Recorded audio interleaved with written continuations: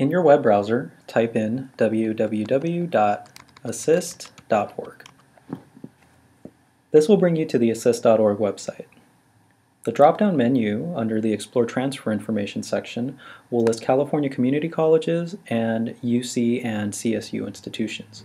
We'll want to start off by finding and selecting East Los Angeles College.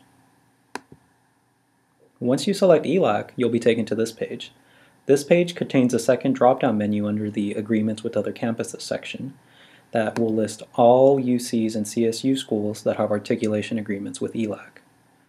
Assist.org is a great way to get an idea of which classes your desired transfer institution will want to see you complete at ELAC.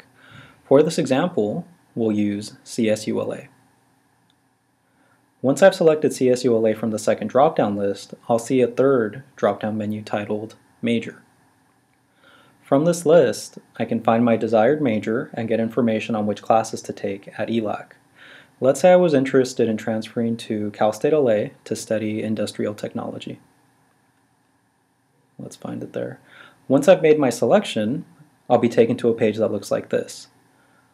Most schools will list information on the major you selected in the top portion of the page, things like whether or not the program you're looking at is impacted, minimum GPA required to get in, or areas of emphasis that fall under your major.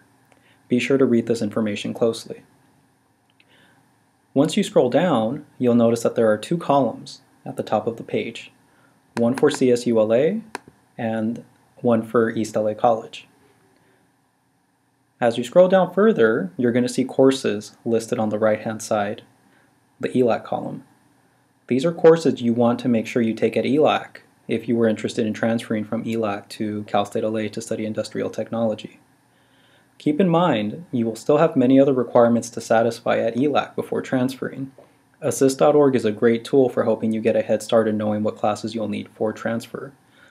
Always be sure to check with a counselor if you have any questions about how to access, read, and utilize the information listed on assist.org.